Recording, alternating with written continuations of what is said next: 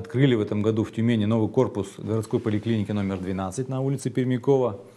Это 3,5 тысячи квадратных метров, там у нас отделение для детей и взрослых, отделение реабилитации.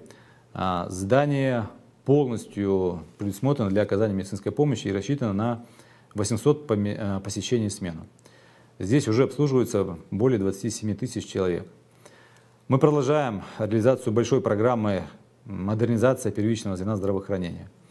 Завершен капитальный ремонт на четырех объектах. Э, это в поликлиниках в селах Абадское, Викулово, Бердюжье и один этаж стационара и пищеблока больницы в селе, в селе Амутинское.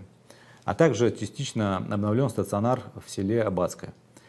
Э, также введена в эксплуатацию новая современная поликлиника э, в селе Каскара. Она обслуживает почти 24 тысячи из 10 населенных пунктов региона близлежащих. Также приобретено 277 единиц медицинского оборудования, в том числе 18 единиц так называемого тяжелого. Это компьютерный томограф, флюорографы, маммографы, рентгенаппараты, аппараты МРТ. Поставлено 25 автомобилей санитарного транспорта и 26 э, автомобилей скорой медицинской помощи.